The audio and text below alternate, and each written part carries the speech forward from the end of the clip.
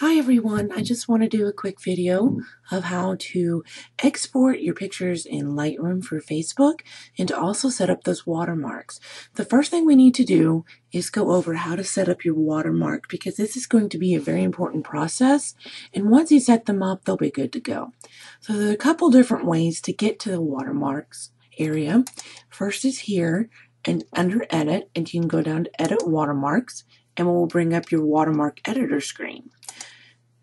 You can also go to the photo itself, hit export, scroll up to export again, and you'll get to this same box.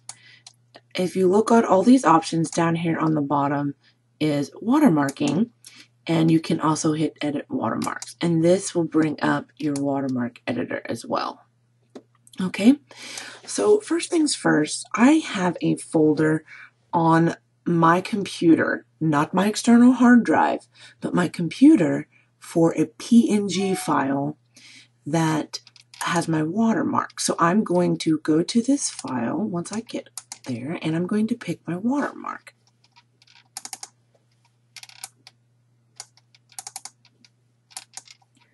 That's my PNG file that I want to use, okay? So in this option right here, you will scroll down to watermark effects. And as you can see right here in the bottom left hand corner, it's there. Well, I want to create it up top, top left. So my anchor position, I'm going to move to top left and I can change the size of it. You can make it big, large, however you want. I just want it about right there. I can also change the position of it. If I want to move it in, go all the way out. So let's start about right there. If I want to go up, if I want to go down, I'm going to keep it right at right at zero. Looks good. Okay. So you can also change the opacity if you don't want it all the way there. If you want it fully bright or just barely showing. So I'm going to keep mine at 100. I made it a little bit bigger, moved it over a little bit, anchored it to the top left. You can do whatever you want because ideally you can set up multiple watermarks based upon the position. So you'll see that in a second that I have one saved here, I have one saved for top right, etc. So we're going to save top left. Well, I'm going to hit, um, come up here to custom, I'm going to hit save current settings as new preset and TL for top left. Okay? And I'm just going to hit done. Now, you can see that I have wanted to export this one file for Facebook. I already have some settings set up over here. Facebook bottom left, bottom right, top middle, top right, but I need to create a top left just like I did with my watermark. So I have bottom left, bottom right, top right, so let's say I'm just going to use the Facebook top right as a, as a starting point. I have a folder on my desktop that's for Facebook that I export everything to. I can choose to rename the file. I'm going to use the custom file number, basically change it to Monica Olson Photography and keep it the same original file number so I can match it up. Or if you're doing a batch rename, you can do sequence where it starts with 1 and names it 1 through 50 or however that you would like to do that. I usually keep original file number just so I can go back, but it's really up to you. Here's another important part is the file settings. I want to export as a JPEG.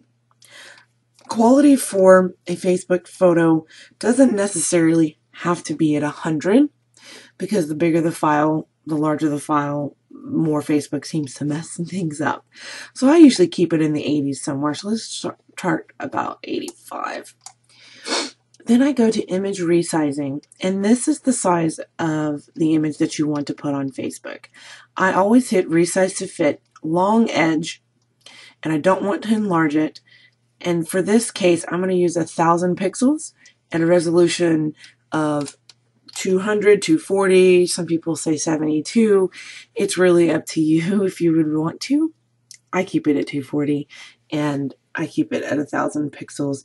Facebook, I think, allows you to go up to two, 2048. Um, you can go that far if you would like. You can output to sharpen for screen, low, standard, high. I keep mine at standard. And here's the part where you're watermarking. Pick the watermark um, that you want for the photo. So since we made our top left watermark, we're going to hit top left. And before we export, let's save this as a preset. I'm going to hit add and I'm going to say FB for Facebook, TL for top left. If you notice, I corresponded all of my watermarks to match my export presets. This is so I know that this export preset is going to export the watermark in the position that I want.